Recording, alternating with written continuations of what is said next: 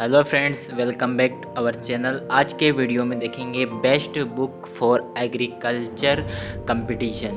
तो कौन कौन सी जो बुक्स है जो एग्रीकल्चर कंपटीशन के लिए बहुत ही महत्वपूर्ण है, जिसमें से अधिकतर क्वेश्चन आते हैं। तो जो बुक पढ़ना आपको बहुत ही आवश्यक है किसी भी एग्ज़ाम के लिए तो स्पेशली ये I B P S exam F O A NABARD F C I agriculture supervisor F मतलब इन जैसे exam M S C entrance exam की तैयारी कर रहे हो तो भी ये बुक बहुत ही इम्पोर्टेंट है। तो आइए कौन कौन सी बुक है उसके बारे में जानते हैं। तो हमारी लिस्ट में सबसे फ़र्स्ट बुक है फंडामेंटल्स ऑफ़ एग्रीकल्चर ये जो इसके राइटर है, वो है अरुण कात्यांत सर, और जिसकी दो बुक है वॉल्यूम फ़र्स्ट और वॉल्यूम सेकेंड तो वॉल्यूम फ़र्स्ट में पाँच सब्जेक्ट है agronomy soil science extension education agriculture economics और फार्म मैनेजमेंट तो इसमें से जो एग्रोनॉमी और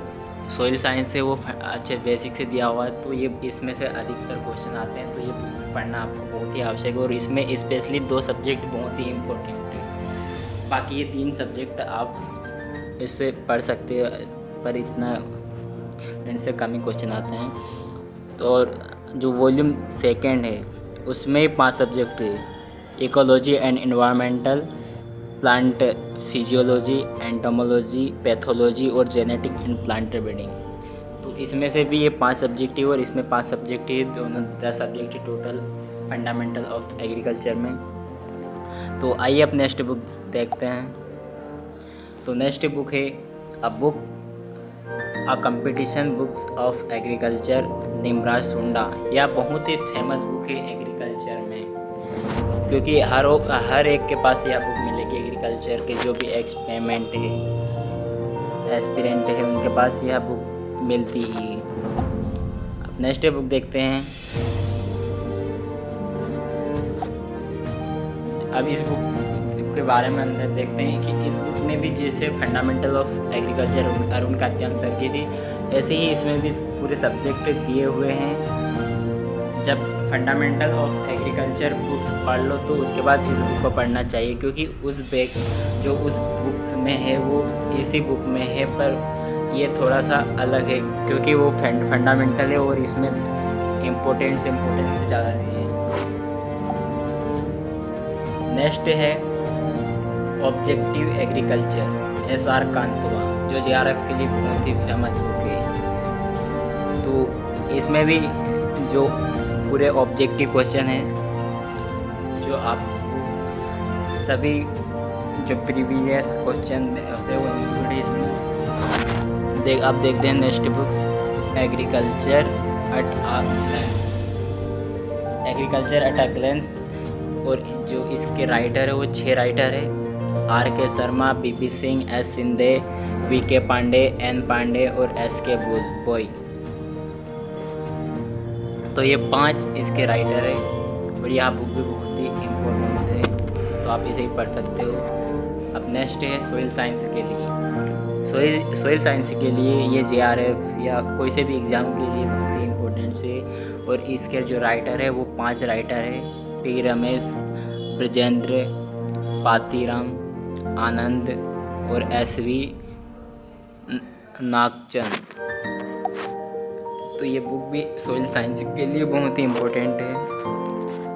अब दूसरी है प्रिंसिपल ऑफ़ एग्रोनॉमी तो यह बुक भी बहुत ही महत्वपूर्ण है। एग्रोनॉमी का सभी इसमें फ़ील्ड क्रॉप कवर है इसमें। और जो इसके राइटर है, वो है ये लामंदा रेड्डी और शंकरा रेड्डी अब देखते हैं next book elements of agricultural engineering doctor Jagdishwar Sahay तो ये इंजीनियरिंग के लिए बहुत ही इम्पोर्टेंट बुक है, जिसमें सभी मशीनरी इसमें दी गई है डिटेल्स है आप ये बुक भी पढ़ सकते हो। नेक्स्ट बुक है, ये इस बुक का नाम है ग्लेडियस हॉर्टिकल्चर इसमें सभी हॉर्टिकल्चर कवर है और जो इसके राइटर है वो है पी कुमार और आर सेल्वा कुमार तो ये दो इसके राइटर है और ये हॉर्टिकल्चर के लिए बहुत ही महत्वपूर्ण है। नेक्स्ट देखते हैं फॉरेस्ट्री के लिए। इंडियन फॉरेस्ट्री और जो इसके राइटर है वो है के मणिकंदन और Prabhu IFS Indian forest service officer थे। उनके द्वारा यह बुक लिखी गई थी।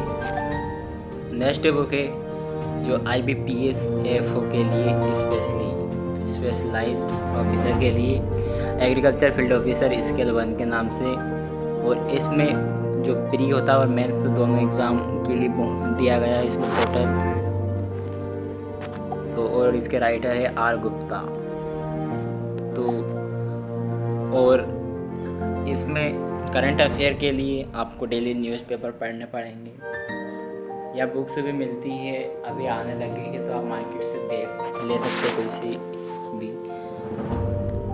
और कोई सी भी बुक्स पढ़ने के बाद आपको क्वेश्चन करने बहुत ही ज़रूरी होते हैं, कि विदाउट क्वेश्चन आप पढ़ेंगे तो फिर जो पेपर में आप क्वेश्चन अच्छे से नहीं कर पाओगे।